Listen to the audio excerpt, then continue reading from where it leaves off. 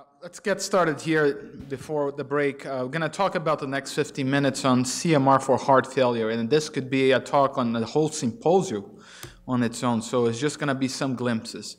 You have seen this prior slide, and to show that the applications that cardiac MRI um, is uh, being done in Europe predominantly for the evaluation of cardiomyopathy, here about 32% as well as in patients with myocardial dysfunction secondary to coronary artery disease for the assessment of viability, and the implications of findings on the cardiac MRI that would translate into changes in medications and therapies.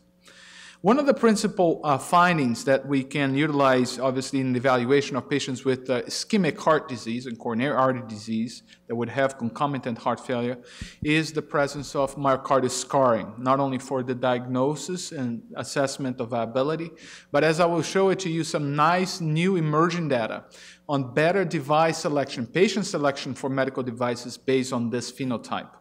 So one of the fundamental principles that we touched base briefly this morning was on the use of gadolinium as a paramagnetic agent to really decrease and shorten this T1 time. After we inject gadolinium, that is going to increase the T1 signal. We use an inversion pulse. We're going to make the normal myocardium dark, black, null. And wherever there is increase of myocardial cell death, interstitial a space expansion, gadolinium is going to sit and stay there, and by, because it has a very high relaxivity, is going to increase its signal. As I mentioned before, there are sequences to improve the detection of subendocardial scar, but this is typically done within 10 minutes or so. This is, I think, a very important landmark study, actually epidemiological study that was ran uh, by Erik Schelbert, uh, who directs the cardiac MR at Pittsburgh. At the time he was at the NIH, looking at this Iceland um, study. So 936 participants that got recruited from uh, 2004 to 2007, they were asked the question, sir or ma'am, do you remember having had a heart attack? And they would say yes or no, and they would answer some other uh, questions, answer about their diabetes status. And as you can see, the clinically recognized infarct was about 10% in overall population. But then when they looked into their EKGs and looking at their CMR with gadolinium, they saw that this is actually double, more than that. So obviously, the more you see, the more you're going to diagnose and hopefully treat. Patients with diabetes particularly, they were you know, thought to have 11%, actually 25% were found to have unrecognized myocardial infarction, much more than those without diabetes.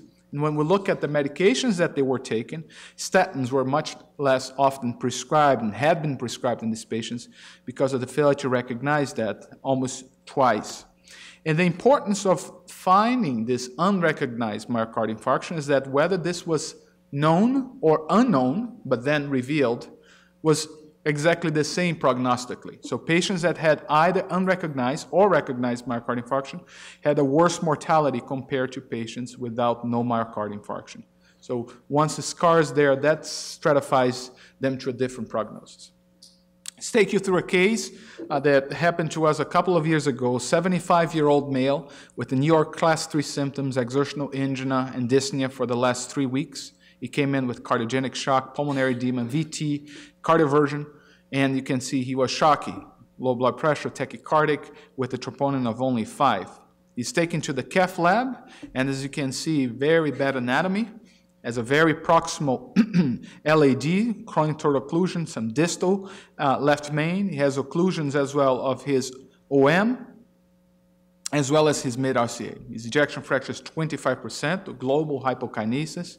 It's a little bit of mitral regurg, and he was diuresed and optimized, had balloon pump placed, was in the ICU for a couple of days, and then after this quasi-storm, he's then sent to uh, the cardiac MRI to evaluate for myocardial viability for before this high-risk revascularization. So on the cardiac MRI, as I was showing this next set of images here, we can see that, you know, similar to the echocardiography, the ejection fraction is reduced. There is definitely wall motion abnormality involving the LAD distribution here, anterior, antero, apical, all the way wrapping around. The apex is this nearly akinetic, and also introseptum, infralateral wall, so multivessel. But when we look at the gadolinium, which is going to be the arbitrator of the viability question here, we'll see that actually except for the apical cap, which becomes obviously thin, there's actually preserved viability for this patient, and therefore, despite this wall motion abnormality, he should benefit from revascularization.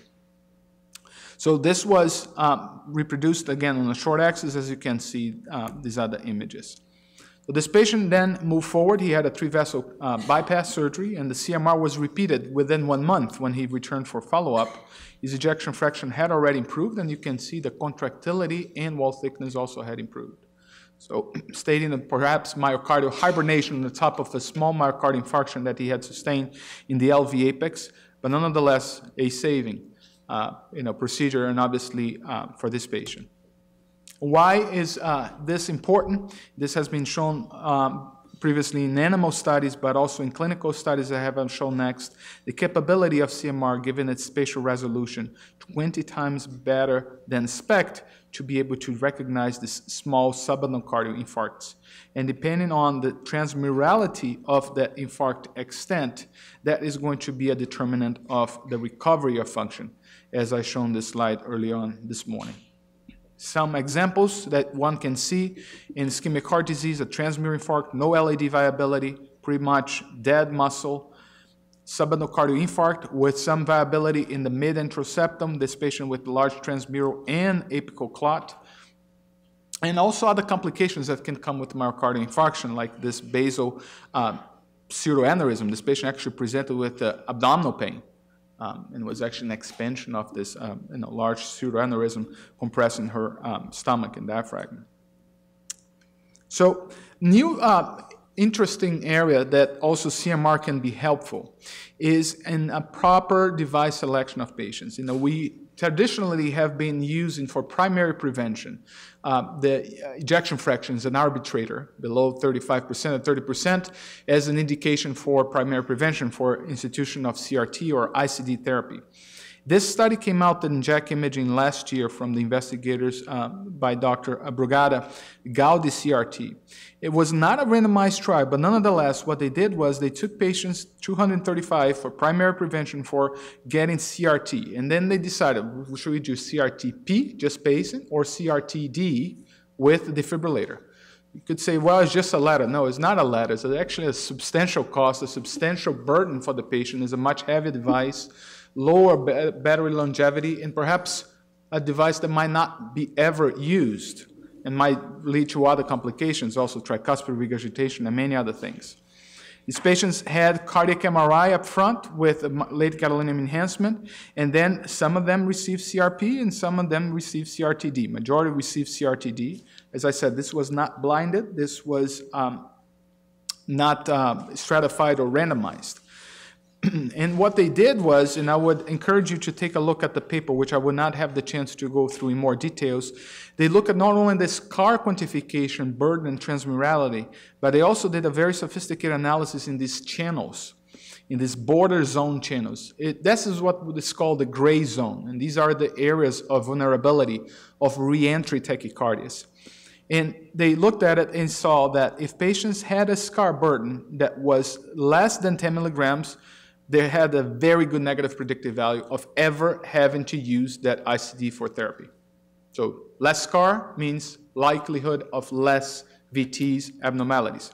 Then they went next, do they have channels? And if they had no channels, excellent also prognosis, despite having low ejection fraction.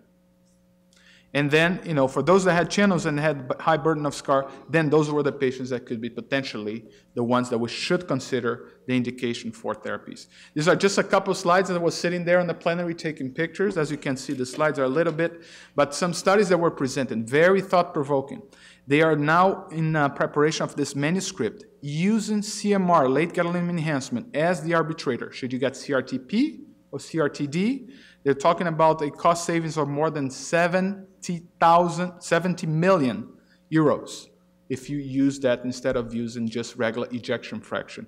And as you can see here in a couple examples, they show ejection fraction. Both of these patients have low ejection fraction 12 months after CRT, improved. This patient did not improve, had no response, but you can see this patient had scar, and despite the EF improvement, it was the scar that dictated the outcomes.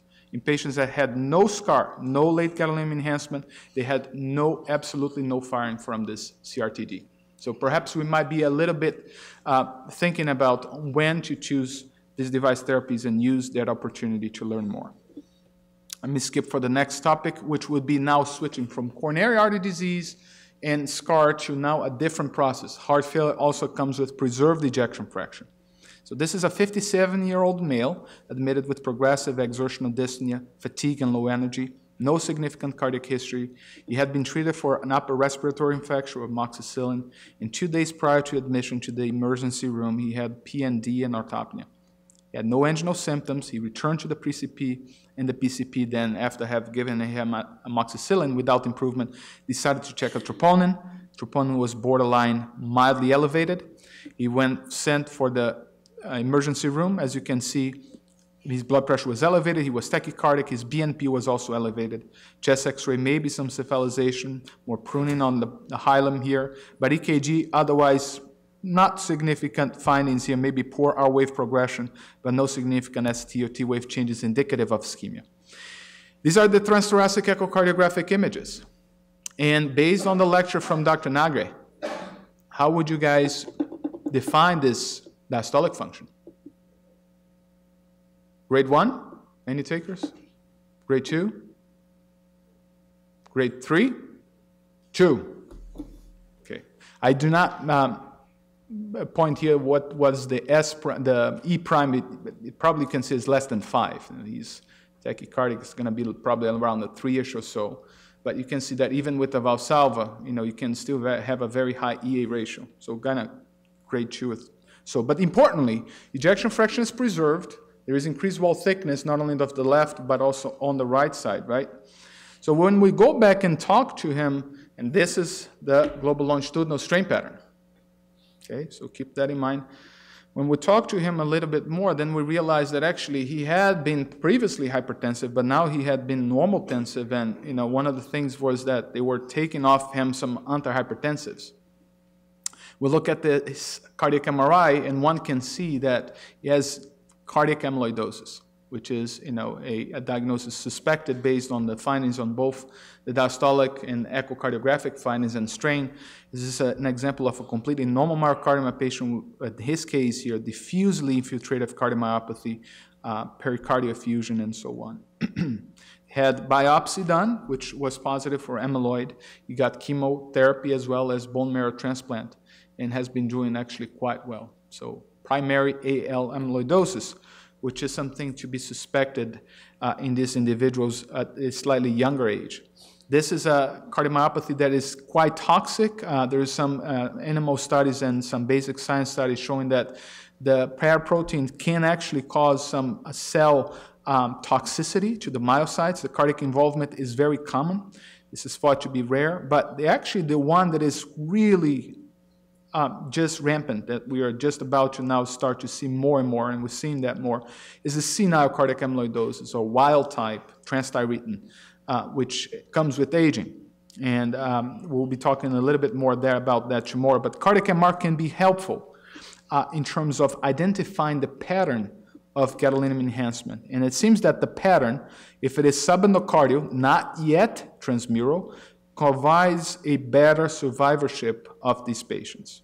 And it seems that extracellular volume fraction might be also another important marker, a marker of diffuse infiltration fibrosis that we'll be able to track over time and even response to therapies. This is an area of very rapid uh, development. There are a lot of phase two and three trials now for medications that are going to be able to not only stabilize the transthyretin protein, but even silence the mRNA and be doing that, being able to harvest it from the liver and potentially from the heart. So in conclusion, um, cardiac MRI in this situation here, oops, cardiac MRI for ischemic heart disease and for heart failure has provided an immense opportunity for us to learn better from revascularization and device selection. And I believe for particularly HFpEF, this field of microvascular disease and also evaluation of other concomitant infiltrative cardiomyopathies could be quite helpful. And with that, I'd like to finish and thank you very much.